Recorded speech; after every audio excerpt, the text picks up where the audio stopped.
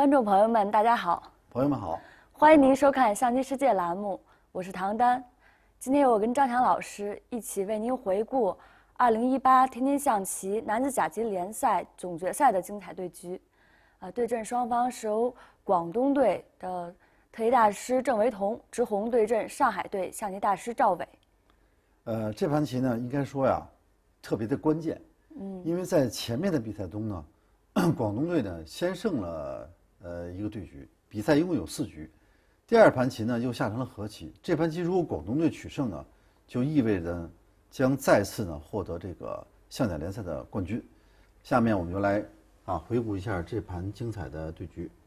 郑惟桐呢执红线走，选择过宫炮。然后黑方是以骑马应对。嗯，骑马局呢也是比较常见的，红方再跳马。然后黑方车九平八。嗯，接下来红方拱三兵，走到这儿呢，就是红方呢有多种选择了。嗯，也有出车的啊，但是出车呢最主要是怕对方封车，封车以后呢，感觉右翼的子力呢受制，所以呢一般都选择拱两个兵的居多。嗯，实战它是兵三进一。这儿黑方呢就把这个三步虎亮出来。对，炮八平九。亮出三步虎呢，也就是说的这个左翼呢。居一名不给红方居一平二了啊，也是非常合理的一种走法。接下来红方跳正马，除了跳正马以外，也有走象七进五的啊，也有走象三进五的，各种走法都有。嗯，然后黑方也是卒三进一，先挺一个兵。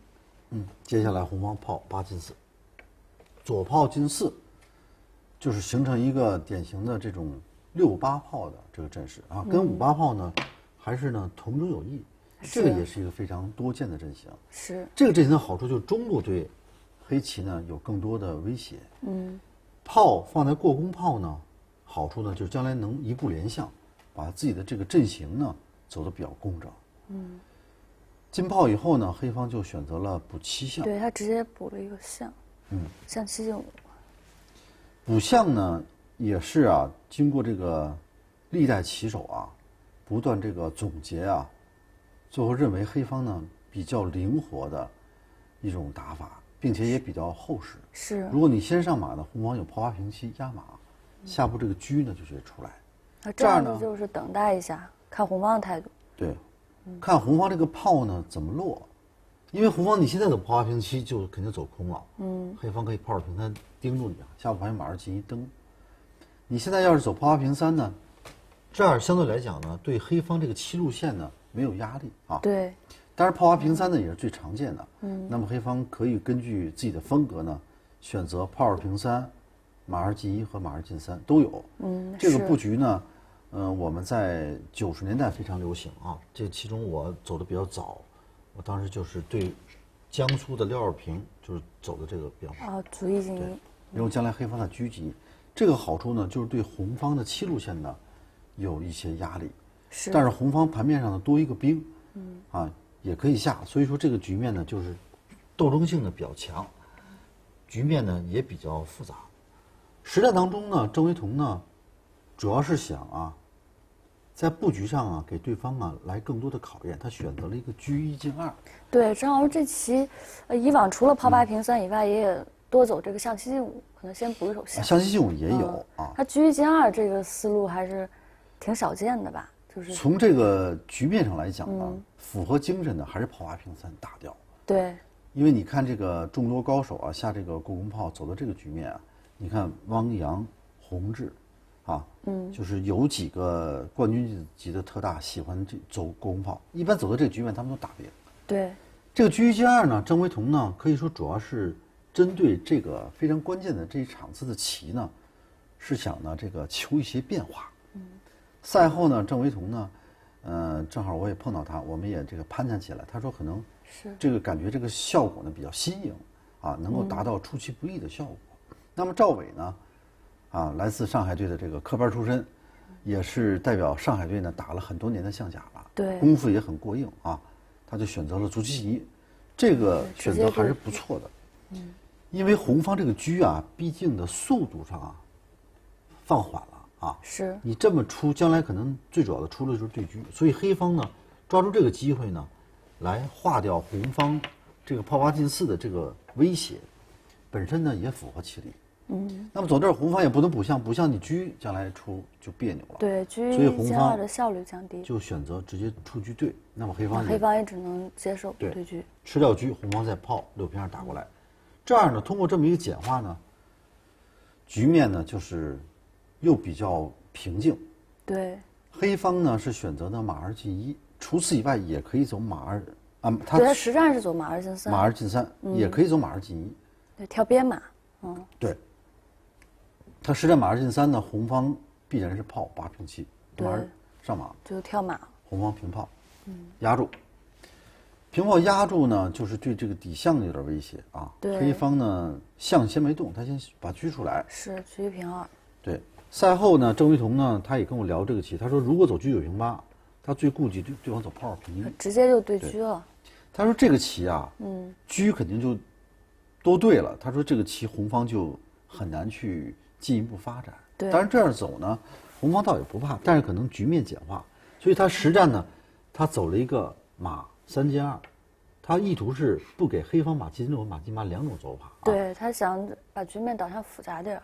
赛后我也跟他说，我说这个棋要是走的话，还是马三进四，感觉这个脚啊，是不是控制能力更强一点？他说对，对他说这个，他最后说，他说这个棋啊，呃，嗯怎么？他说考虑这个车啊，既然不能直出，是不是就考虑横出？对，车九。他说将来车九平三或平四呢，加强这个攻势，他说显得更积极一点。对他说当时他跳马呢走的也比较快，因为我们大家知道这个象甲的赛制呢是快棋的啊规则，或者说接近快棋，二十分钟自由，每走一步棋呢加五秒，应该说速度很快。那么在布局的准备上，啊以及中后局的这种反应上呢就非常重要，时间是可以说左右全局。嗯。另外呢，这个到了决赛啊，这个压力也很大。咱们在这个六进四和四进二的比赛当中呢，对都打得非常激烈。像我们北京队和上海队，啊，京济联队，我们打了十场棋，这也破了记录。对，是先是四盘这个二十加五的棋，对，然后接着四盘的那个快棋，超快棋的加赛就是五加三，五加三，嗯，就是五单方用时是五五分钟，每走一步棋加三秒，对那速度就很快。因为毕竟呢，这个比赛重要啊。你要说纯快棋赛，五加三也比较多见。对，压力很大，嗯，就说的包括你像这次谢晋和这个王天一啊残局对决，那个王天一的棋始终占有优势，对。但是呢，这个棋就久攻不下，有点招法走的有些急躁，结果最终呢，谢晋呢这个防御反击就打得非常漂亮，就是这个加赛这个五加三的这个比赛，就是说的这个紧张激烈的程度呢，超过了以往。通过我们这个网络直播呀，当时呢，也是吸引了这个数以万计的棋友呢，能够关注我们这个象甲联赛的这个啊最后的季后赛。对。所以说，郑维彤呢，这个策略呢，他就是想继续封闭这个局面，嗯，他马三黑方进二的想法也挺好，对，嗯。黑方接下来呢就是他就补了一手象，补了一手象，嗯，补了象呢也比较公稳啊。对。红方这个棋呢也确实不知道从哪儿去进攻，感觉黑方这个布局还是挺成功的，就是说，呃，红方车一接二呢是想求变，但是黑方应付的呢还是不应对的错。挺好的，对红方这个棋呢没有讨到便宜，那么红方这个比较简单的走法可行的啊，炮二平三打马，直接打马，那马七进八，再把这个兵打掉。这样呢，红方呢先多一个兵再说，这个也是一个走法。当然，黑方如果走的合适的话呢，这个棋也是一个军事，黑方可以炮二进一，哦，直接炮二进一对对炮，因为你炮要退呢，你活力就差了，你没有这个炮一平二这些动作都没有。嗯，而且黑方将来还有炮二平三反击，所以这些红方可能也只能对对掉，对掉这个棋就非常平稳。对红方还要在将来对这个局，这个棋可能就是说，红方就多一个小边兵，局面呢就是基本上是一个军事。对，就是下残局了。那实际当中呢，红分又不肯这么走，他又保留这个复杂，他又补了一个象对啊，黑方就炮二平一了，下步棋的就准准备车二进三来捉炮了。这个棋红方这个时候再走炮二平三，黑方就强硬的来对他直接可以车二进三交换，这儿红方被迫呢，因为这个炮不肯打，打了以后，这个地方红方这个子力要更散一点，黑方这个马三进四啊，车二进三，都有很好的反击。嗯，红方被迫呢这个进炮换马，黑方车二平三。车二平三。对，大家看到啊，就这个转化的局面啊，最主要是红方的这个子力啊不够协调啊。对。这个后边这个马没根儿了。好像这期黑方没有什么太明显的弱点。红方呢，这个炮呢打出去，黑方也是有点弱点。有点弱点。这个高象有隐患，那这个象肯定在底下安全。啊，我这是想着红黑方的这个大子都比较活。嗯，这个另外这个车呢，现在真不明。对。比如说他车有影响以后，你车不能动，一动他打马，车八进七捉双。有捉双，对。黑方呢，就是说这个阵型呢，呃，不是特别协调，但是呢，这个阵型呢，对自己呢。就是保全自己也是没有问题。当时我记得我在网络上直播，给大家这个讲棋，我说这个棋啊，黑方反先了。黑方反先。对，实际这种判断呢，我认为也是正确的。确实黑方反先了，怎么着？对。事后呢，我也看这个棋，无论是从这个我们这种高配置的电脑来验证，还是从人的感觉去验证，因为这个棋就是红方这个棋啊，对黑方没有牵制，但是到了现在呢。就是第一个是心理的较量，对，还有一个时间上的较量啊。这棋其实应该说黑方的压力更大一些，呃，现场队伍已经输了一场棋。对，比赛呢，这是第三盘棋。对，如果赵伟能够取胜对方呢，那么双方将打平，回到同一起跑线，那就看四发，就是前三个队员，第一盘上海赢了，第二盘棋平了啊，第一盘棋是广东赢了上海，对。呃，第三盘棋呢，赵伟如果输了，战斗就结束。对。如果赵伟赢了，就打平。平了以后，将迎来第第四盘棋。那么第四个发的呢，呃，从感觉上来讲呢，呃，上海队剩下的是谢静，这个是唯一的人选。广东队是许国义。啊，许国义。另外呢，广东队也有可能派出吕钦老师呢作为超级替补出场。对。这个也是一种可能。是。所以说呢，这个上海队的思路呢，这盘棋呢，就是想。这盘棋打平，让谢晋呢去争胜，对，因为他们也知道这个郑惟桐的实力比较强，嗯，但整体这个思路上啊，可能上海队给这个赵伟啊安排这个任务了，结果赵伟啊这个后半盘就显得特别的保守，结果导致这个棋啊缩手缩脚，他这步退马是可以的啊，对，因为这个对子红方肯定不能接受啊，他就先走炮，对，炮三进一，进一，嗯，然后黑方这个时候再卒五进一。这个卒五进一啊显得就必要不是很大。哦，这个感觉就是把车亮出来嘛，三路就说这步棋也没有太大的问题。是。但是呢，就说这个卒这个走不走呢也不吃紧。对。比如说可以直接打兵啊，就比较鲜明，我就准备多兵了。你去捉我炮，我就炮。炮一退二回来。对，退两步，你能有什么手段呢？你也没有办法。你再捉我再上，他卒五进一呢是从安全的角度。考虑这个车可以逢源，啊，左右逢源，但是它不足的地方呢，这个中卒没根儿了，是啊，将来红方这个登的时候呢，它要平车保，多了一个负担。当然这个棋也不是特别大的问题啊，红方是先他车八进四巡河，嗯，黑方炮九进四，对，嗯，那这样呢，黑方就先吃一个卒，啊，进入了这个中局的啊漫长的这个战斗，对。啊，那到底这个棋局怎么发展呢？稍后我们为大家呢继续讲解。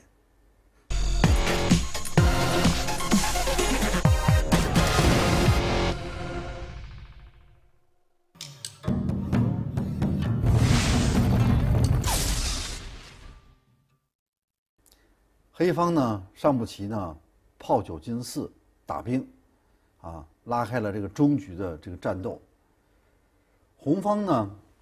不肯这个兵丢也，兵七进一呢，他要怕他炮九退一啊，对，这个有一些牵制，嗯，那他就马退四挡住他，另外登这个中卒。黑方实战是走了一个炮炮九退二，用炮来看住中兵。对，实际上还有一个走法就车三平五，这个会比较结实啊。嗯，那红方如果再兵七进一对兵的话，那黑方恰好有一炮一平三，因为你这个中兵啊，对方瞄着的，你不敢去跳。你跳马的话打，那这个棋黑方顷刻之间就可以拿到绝对优势了。呃，十六进五。我们先看十四吧。十四进五。十四对方有一打兵，强行打兵。这有个巧招。这儿黑方多三个卒呢，就可以说呢，一举确立盛世。车吃的话就滚过来，那打东军又我再打回来，，那我至少我也多两个兵。你怎么吃我也多两个兵。对所以说这个打中兵啊很厉害。红方如果士六进五的话，黑方可以先拱，你车一吃他车五平二呢是一个叫杀。啊，正好是先手掏车，这儿红方呢一无所得，这两个马也没缴，这个底线啊还被杀，所以说这个棋呢，黑方可以先走车三平五，这样对红方的牵制更大。说明这个走开车以后，红方还是没有对骑兵那你。如果不是，我也炮一平三，把你勾住。嗯，跑一平这棋黑方呢，我认为就比刚才呢，甚至又扩大了一点先手。啊、，对，因为多了一个兵，又瞄着红方这个子力，所以说这个车三平五呢是一个很关键。这样发展下去啊，对，我要是选的话，我肯定选黑棋。是红方这个棋呢，这个少兵呢，说实话下着还会有点辛苦。嗯，所以实战当中呢，黑方呢就处处体现了保守的这个指导思想，他去退炮，这样对红方的牵制就小了。是他本来自己的阵型更稳固一些，更安全一些。他不是，然后他炮一平三，对他这时候炮一平三。对，，这炮一平三也是好棋。嗯。啊，红方这个棋呢暂时不好动，他只好对马四退二回调整。这个时候呢，他抓了两下炮，嗯，他平均捉。捉，红方只能炮三平四，只有一个位置，四，嗯，再抓。再捉还得炮四平三。对。呃，另外呢，走到这儿呢，黑方呢，实际上这个平车捉两步呢也是好棋，把车啊先手站到这个位置了，然后这个炮就应该打出来。还是应该吃个兵。但是他吃兵，可能总觉得这个三路炮会有危险。没有问题他下步炮九进二，两个炮可以连住。就车八退一要捉炮。如果你不吃兵的话，你走炮三进二也是可以的。啊，直接退两步。下步马五进三，这儿黑方的阵型呢也是非常牢固的。对，红方的这个棋呢，也基本上就是只能去，啊，谋得这个和棋啊，就是红方这个棋也没有什么发展的空间。关键关键黑方的那个各个子都占据要点。对，黑方实战走马五退三，对，这步棋呢也不不是很坏，但是不如动三路炮呢更加的，啊，符合这个局面的这个发展的需求。对，接下来红炮三平八，对他炮三平八调过来，这个时间啊就越来越越紧了，双方。是，因为这个心理的这个较量啊，对于这个神经呢是一个考验，因为时间越来越紧。对，赵伟呢，毕竟呢没有郑惟桐呢这个经历这种大战更多，因为一个象棋呢是个人的这个项目啊，当然在团体赛当中呢，也需要一个团体的啊这个配合，包括对你一发选手、二发选手，先手对谁，后手对谁，也要对对方呢有这么一个啊大致的分析。那么上海队呢，很明显呢，他就是说的派出这个三发呢，就是想顶和。对，肯定是希望赵伟那开对呃后手顶和。所以说赵伟啊，这个脑子里啊，总是抱着这个和棋的这个想法呢。这个可能上海队给他的任务束手束脚啊，他这个反而这个背上这个包袱了，对，所以棋走的就不够洒脱。嗯，黑方的这个地方呢，就是很明显，补士怎么选？实战黑方士六进五，唐楠，你觉得是士四进五怎么样？士四进五，呃，后来就是张老师，你给我摆这个棋啊，跟我说这个士四进五还是挺好。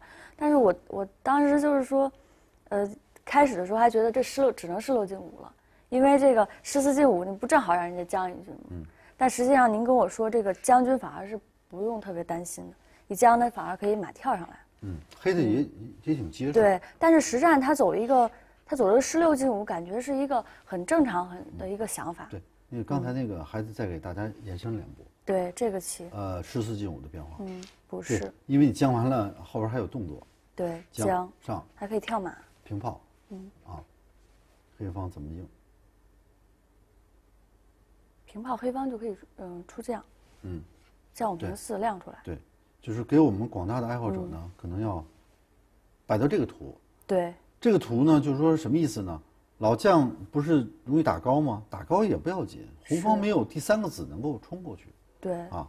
黑方走这个阵型呢，也完全不怕。嗯，他主要下步还主要是有打兵是红方的两个马，啊，他还是有打兵，然后必要的时候还可以来对车。对红方这个棋呢，也没有便宜可占。红方主要两个马没办法投入战斗。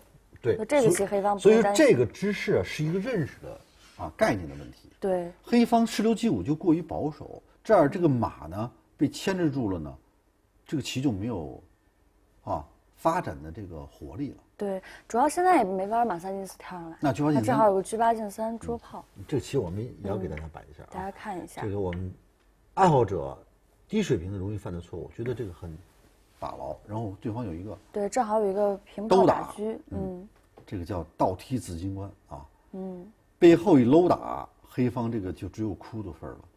对，这是 子这个这。个这跟闷弓一样啊，所以这个棋千万要注意啊。所以说黑方上马来不及，他只能知士，而知哪个士很有讲究。他实际上是士六进五是在这儿，啊，它士六进六进五，红方炮八进进一，这个如愿以偿。这个底炮啊，就是把这个底马呢拉住了，黑方就会觉得掣肘啊，他不容易展开。对那这个棋黑方可能积极点，还是应该打，打了还是要把兵暂时也没办法啊。他实战呢，他可能还是有点这个，他走了个车六平四，啊，他是想他想车六进三这样子。这个没有什么用，嗯因为一一上马他又感觉又不能来，来了又怕红方先去攻他，对，因为你这个马炮都在后边儿，所以黑方又想回撤，嗯啊，红方这个时候呢也不好进攻，也只好退，他就车四平五，对，车四平五。他是不是走了个炮八平九啊？先，呃，他呃，你平炮的时候，他好像对他他先炮八平九，对先炮八平啊，九他车四平五，他那个马六进八，反正他呃，车四平五的时候，他马七推六啊对对回来，，然后这儿他对他炮八推二，然后他马六进八，对然后他炮八平七打马，他回来四回来。他，就拱了个边卒哈，对，卒一进一，然后红方炮九平八，对，防止他捉嘛，他就先平了对。步炮。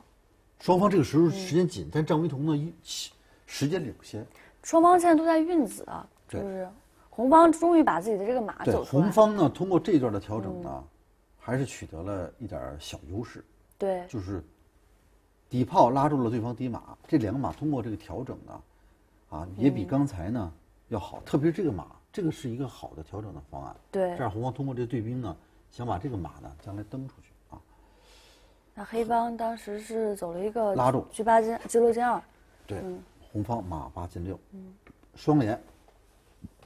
黑方炮七平六，对，平炮打马，嗯，感觉黑方走的也是挺好的，对，也没有太大毛病啊。嗯对。因为毕竟啊，上海队和广东队啊都是传统的强队，是，两支呢啊，最资最资深的老牌劲旅，从这个解放之前呀，广东和上海就是我们象棋的一片乐土啊，对，高手云集啊，高手是层出不穷啊，这个棋的氛围也非常好，特别文化底蕴。你像广东啊，老一代的棋手啊，这个以胡荣华老师为最杰出代表。对，广东队呢，有这个杨关林啊，是，这个新一代的选手呢，这个杨国林之后，广东队有吕鑫、许云川，嗯，上海队呢有孙永征、谢晋这些全国冠军的人物，对，所以说呢，他们的棋的功底呢也都是非常扎实的啊。就是赵伟呢，尽管棋是保守，但是招法仍然没乱。对，那么在下一步以后，黑方就一下呢陷入了苦思，嗯就是时间走得很快。这个郑维彤啊，确实在竞技方面呢，这两年呢也有很多的进步。他突然跑车八进三，这么一走啊，这个对方就很紧张。这步棋就赵伟啊，就花费了有三四分钟的时间，本来时间就很紧，对。就剩五六分钟，这么一走，时间就没了。是，张敖这棋要是按我来说，觉得这个红方感觉优势很大，因为红方这个底炮太厉害了，嗯。这个马被困住了，然后红方的这个两个马以后也要盘旋而出，这个是不是黑方这棋已经是非常的劣呃劣势？这个棋是这样，就是说红方啊，取决于这个子力到底能有多大的空间。对，物质呢，现在黑方呢还多一个卒，所以这个棋呢，黑方呢差一点有限。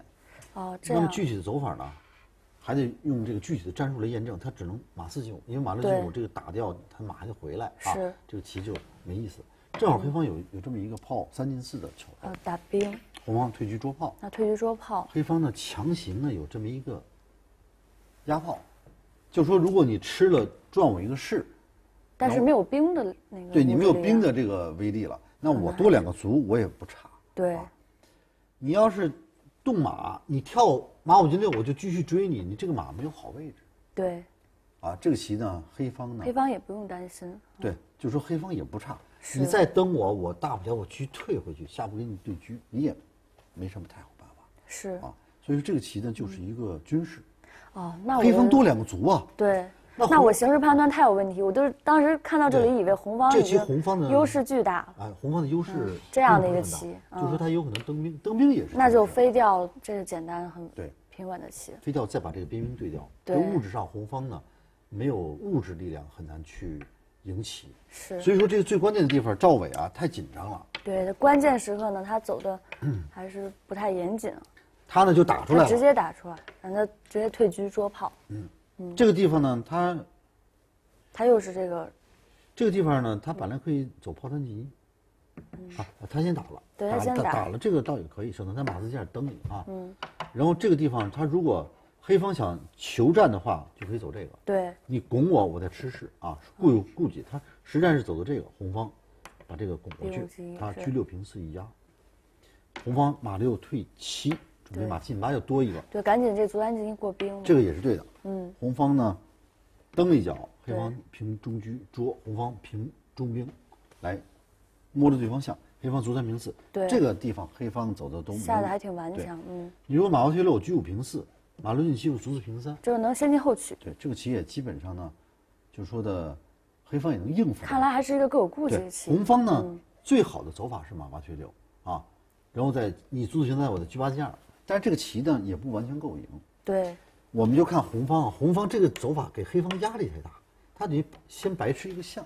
对，这个时候赵伟就一下脑袋就大了。啊是这个象一下丢了，这个棋呢，飞肯定是不行，那正好马八退路蹬双，退马一蹬，车一吃炮，吃的底马是先生。是底马啊，主要这个底马脱根了。这个棋啊，黑方最顽强应该走车五平二来捉兵。哦，直接回来捉兵。对，如果你吃了我的炮，我车五平二，捉双，那你炮八平九，啊，然后我就把你这个马吃掉。这个棋呢，黑方多一个卒呢，红方另外失象也不整。对，黑方这里呢还有很多呢，这个还有周旋的机会啊。对，就是说它差只差一点点，对，差的并不是你想象那么大。是，这个棋退车呢没走出来，可能是赵伟呢错失了最后一个机会。是这看着又少少象对退车这个棋，如果你下兵，黑方可以炮三平一打兵，对就是把红方的物质的都消灭掉。如果你吃，我还是居五平二；你不吃，将来我这可以炮一进二，还有炮一平二打这打些反击双的机会。所以，走到这儿呢，这个局面呢，如果黑方走的顽强，仍然是可以立于不败之地。对，当然，这个棋也很精细，是临场呢，主要象一丢啊，人就慌了。对，这很人一。慌呢，他嗯走什么？他车五平六，也不能吃士啊，那人家三兵就赶快下去了。最后他炮一将罗氏，啊，这个就连续他又回来，这又有问题了。这个步数呢就差的太多了。他这时候再吃回来就效果不一样对。他这时候再一吃，红方这个三路兵呢长驱直入了，等于居战中兵还冲了两步。他呢这个时候没有办法了，他对他退居捉，他就这样捉了几下不能长捉呀。他捉了怎么竖着捉横着捉都没用，对，所以他还得保象。看让人家就下兵，这个棋没有办法，这个车呢，这他落势人家就是平兵。这个象先这个当象使了。对，这马是死马最。后一步棋太平车，红方一车五片，黑方就认负了。是为什么这个马就是一个象？下步红方杀棋陈女车，你要退车的话，这儿兵四进一，将两军就可以把车偷车掉。丢了，对所以说呢，这个棋啊，最终是一个心理的较量。对那么最终呢，广东队呢获得了这个一八年的这个象打冠军。在此呢，对于成绩表现优秀的队伍呢表示祝贺。是，呃，也非常感谢大家的这个收看吧。上海队呢，最后呢是处在第二位，对，啊广东也是第八次的这个联赛冠军。第三名是四川队，第四名是杭州队，啊，第五名内蒙队，第六名呢是经济联队。嗯，好，非常感谢大家的收看。今天的朋友们，呃，今天呢就为大家呢讲解到这里。好朋友们再见。好，朋友们再见。